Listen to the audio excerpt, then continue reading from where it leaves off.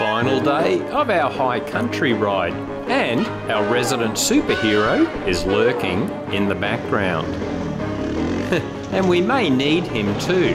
While we don't get to do any single track, we do finally ride some slightly technical sections. Woohoo! We can't complain about the accommodation, a good sleep in comfortable heated rooms, and we are set to climb and descend all day. It's been quite a dry winter, but a bit of recent rain provides some fun in the creek crossings. Most of the riders on this trip had families, and we got chatting about partners and kids. Without exception, they were family men, dedicated, wanting the best for their kids, putting the hard yards in.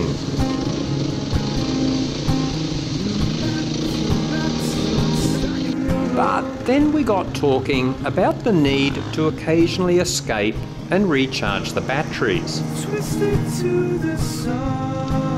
And this might be retreating to a man cave. You know, tinkering with model airplanes, restoring old cars, maybe even stamp collecting. And of course, some of us opt for something far more expensive and likely to kill us. Dirt bikes.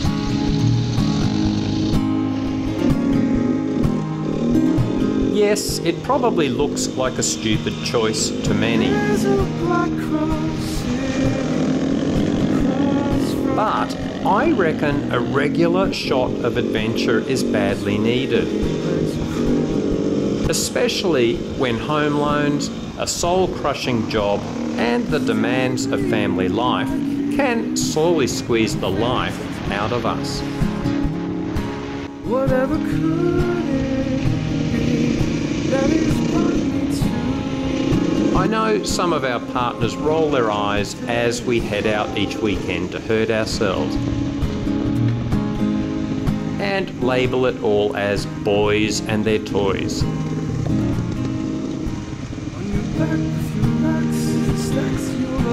But I firmly believe we need regular adventures to unleash the inner kid or we'll just slowly die on the inside.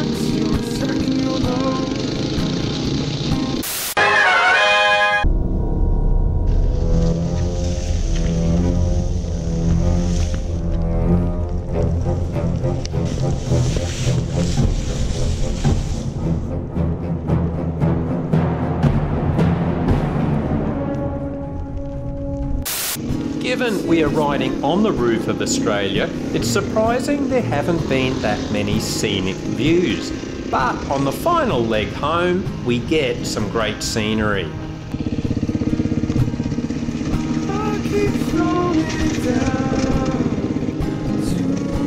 It's been a good shot of adventure with all the boys and their toys is to the need for regular adventures to unleash the inner child. Amen.